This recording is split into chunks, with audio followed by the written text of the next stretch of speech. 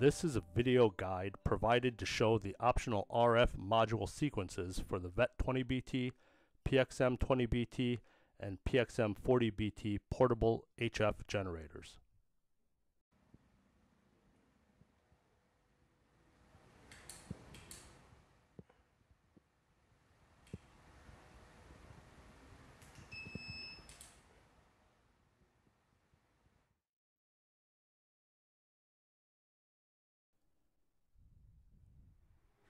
After turning on your system, please check to ensure a good connection is established.